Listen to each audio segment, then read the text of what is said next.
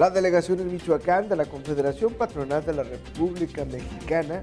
dio a conocer que el próximo 20 de septiembre iniciará su diplomado en Fiscal Legal 2018 a cargo de la Comisión de Asuntos Tributarios.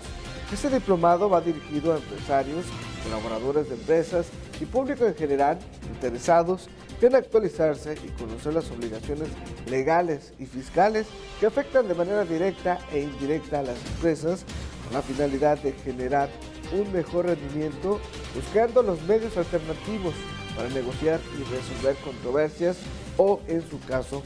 los medios de defensa cuando existen diferencias con las autoridades fiscales.